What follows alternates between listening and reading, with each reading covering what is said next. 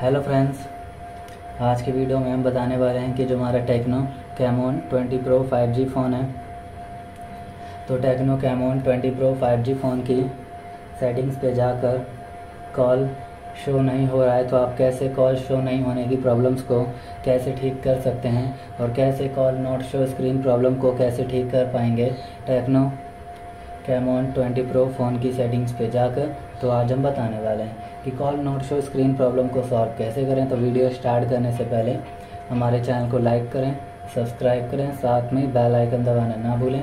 तो आप देख सकते हैं आइकन शो रहे हैं। जिसमें से सेटिंग्स पे जाना और क्लिक करते ही फ़ोन की सेटिंग्स ओपन हो जाएगी।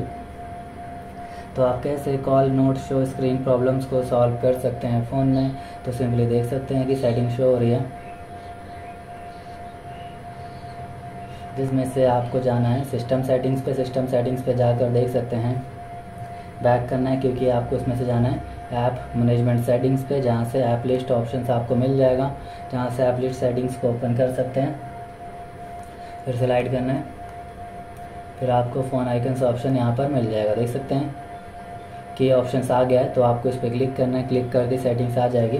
जिसमें से स्टोरेज डाटा को आपको क्लिक कर देना है फ़ोन स्टोरेज डाटा को क्लियर करना है, फिर आपको फ़ोन नोटिफिकेशन परमिशंस को यहाँ से ऑन कर देना, जो भी परमिशन ऑफ़ है, उसको भी ऑन कर देना है। और परमिशन सेटिंग्स पे जाकर यहाँ से जो कॉल लॉक परमिशन आती है, उसको आपको कुछ इस तरीके से ऑन ऑफ़ कर लेना है। ऑन ऑफ़ करते ही जो भी आपकी incoming call not show screen problem है सॉल्व हो जाएगी और जो कॉल्स आपकी स्क्रीन पे शो होने लगेगी, जो भी कॉल्स आएगी आपकी स्क्रीन के डिस्प्ले पे शो करने लगेगी। तो इस तरीके से कॉल्स वगैरह को स्क्रीन पे शो कर सकते हैं और call not show screen problem ठीक कर पाएँगे अपने फ़ोन में।